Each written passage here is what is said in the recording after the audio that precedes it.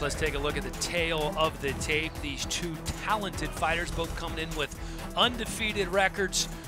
Bevon Lewis, older by two years, taller by half an inch, weight almost identical, and the reach is pretty similar as well. A two-inch reach advantage for Lewis. Our referee for this one is Mark Smith in the octagon, set to get things underway. Alton, first round ready? Bevon ready? Fights on. Bevon Lewis and Alton Cunningham. Lewis landed a nice right hand right at the start of the fight there, about five seconds in. Using that reach advantage well. Only two inches, but two inches matters. And there's the right head kick that landed almost flush. Lewis in the gray trunks, Cunningham in the blue.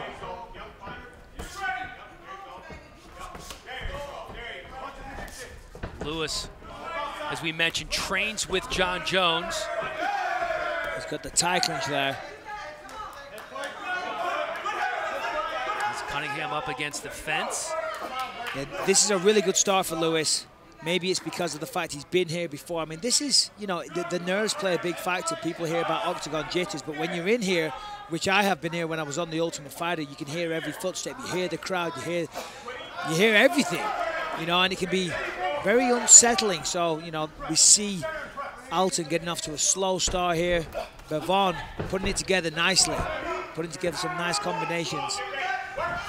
Michael, that's such a great point. Having just gone to UFC 26 and watching that massive crowd and all those great fights, you don't hear what the fans are saying. You can hear your dad in the audience here at the Tough Absolutely. When I first got in the Ultimate Fight, you hear every step you take. You hear the floorboards. You know, it's, it's crazy. So you hear yourself think almost. And it really can throw you off your game. And that's possibly what we're seeing here, or maybe just Bevon is the better guy. But we're certainly seeing Alton get off to a slow start. And I've seen him fight before. He's a very explosive striker. Normally throws a lot more stuff. Well, it's surprising, too, because he's such an explosive nice athlete. elbow there. He, he, said he wants to get in and out quickly. He doesn't want to take a lot of time in this fight. Well, you can see just looking at him, he's an explosive athlete. He's capable of jumping up through the air, nice and high, landing devastating flying knees. He's yet to really let it go in this fight. But as I say, taking nothing away from Bevon. Bevon doing a great job locking up with that tie clinch there, landing some nice knees to the body. Now pushes him up against the fence. Really working a nice game using a variety of techniques, not being predictable.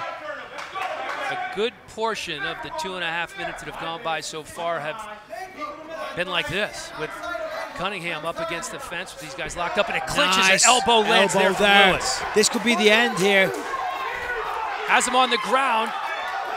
He's kind of locking in a rear naked choke from the looks of it. I can't really see, but he hasn't got any hooks in. He needs to get that right hook in. Got the thumbs up from Cunningham. And Cunningham's not looking good here, though. He's getting back to his feet almost, but he's going to eat some shots from Bevon here.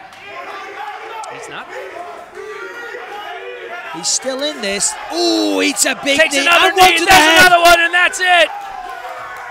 Cunningham looks to be annoyed at the referee, but realistically, the referee just saved Cunningham from taking more shots. They were big knees to the face, one to the body, one to the face. Kind of looked like he was wobbled, was going to go down. The referee stepped in. Cunningham did a nice job of getting to his feet, but once he got to his feet, didn't seem to be really defending himself. And then a couple of knees from Bevon Lewis just ended it.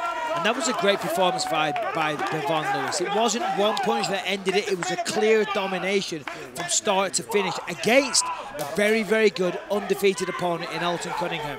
Alton has a great future, but tonight was not his night. Bevon looked sharp, he looked fast, used a good variety of techniques, didn't hesitate pulling the trigger, killer instinct, everything Dana's looking for.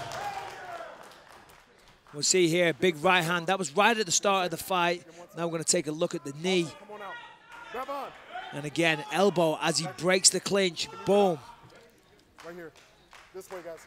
Right that here. one was Right kind of almost to the back of the head. There's the knee there that nearly put him down. And there's the finish. To the face. Kind of covers up. There's another one and another. The referee stops in maybe a little early. Those eyes But rolled this back is, for a second. yeah, the eyes definitely rolled back. He kind of, you know, he was all over the place. He was on shaky feet. And this isn't a world title fight. There's no point taking unnecessary damage. Laura Sanko in the octagon now. Let's make it official.